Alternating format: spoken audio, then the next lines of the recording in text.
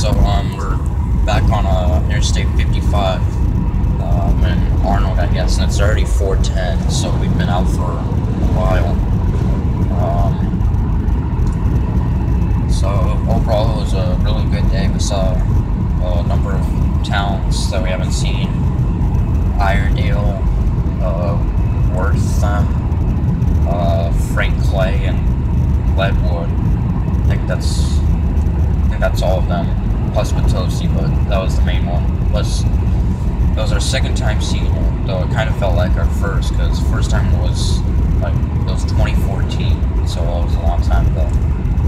So, but um, overall it was uh, pretty good. Overall, now the rain has completely stopped. It hasn't rained since like 11, and it's you know, partly sunny, so. And 69 Oh degrees. yeah, it's almost 70 degrees out too.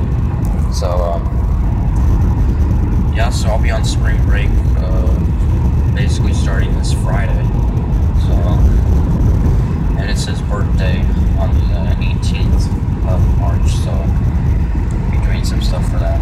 So let me know what you guys think, and I'll see you guys later.